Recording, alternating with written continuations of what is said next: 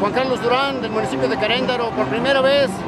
en la historia se nos ha dado la oportunidad de participar con un gran partido que se llama el Partido Tiempo por México, de un señor honorable que es el señor José Trinidad Martínez Pasalagua, que nos dio la oportunidad de representar este gran proyecto que tenemos con una iniciativa de usar el recurso al 100% en todos los sectores, ambulancias en puntos estratégicos, impulsar y patrocinar el deporte al 100%, el dinero en todos los sectores,